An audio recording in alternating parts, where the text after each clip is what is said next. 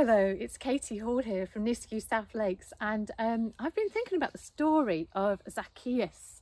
Um, Zacchaeus was climbing up in a tree because he wanted to see Jesus. Now, I wonder why he climbed up in that tree and whether you do much tree climbing or whether you like sometimes to just get yourself in a position where you can watch what's going on from a distance. Um, maybe you like, um, you've noticed that some people are looking things, different things up, watching different things on uh, the internet and just looking from a distance. Anyway, so Zacchaeus was up in the tree. Zacchaeus was up in the tree. He wanted to see, he wanted to see Jesus.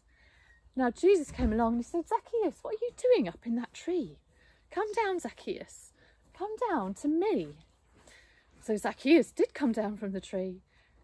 And you know what Jesus said to him? Zacchaeus, I'm coming to your house for tea. We're all stuck at home at the moment. Um, a lot of us are stuck at home at the moment. Some of us um, are going into schools and some of our families are working and some of our families are not working. Strange times, yeah. Um, and I wonder what you're seeing, what you're noticing, what you are watching. What are you seeing, noticing and watching? I think it's really good to take time to think about um, what's around us, the places we live, and to just notice and see. There's some good stuff. There's some stuff that isn't. Our house is pretty messy, a, a lot of it. Um, that's because we're all doing a lot of working from home and not much cleaning is getting done at the moment. So, but I did clean some windows because I wanted to be able to see out the windows better yesterday. So I did clean my windows yesterday. So yeah, take some time to see today. Take some time to stop and smell things. Don't know if you're going to get out on some daily exercise or um, whether you're going to get out in a garden.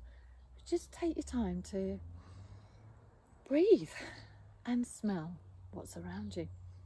Near us, they've been muck spreading, so it's a bit smelly lately.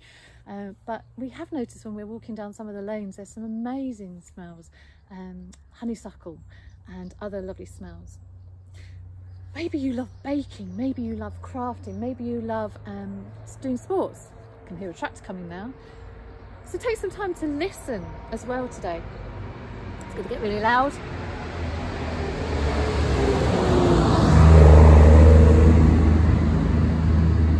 Take some time to listen today and um, that was a really loud sound, wasn't it? They've been going up and down, cutting grass, um, spreading muck, because they've got to get on with their work. Farmers are key workers too. And yeah, take some time to feel um, with your hands, to do things with your hands. Maybe you like making slime, maybe you um, enjoy making collages or playing with Lego.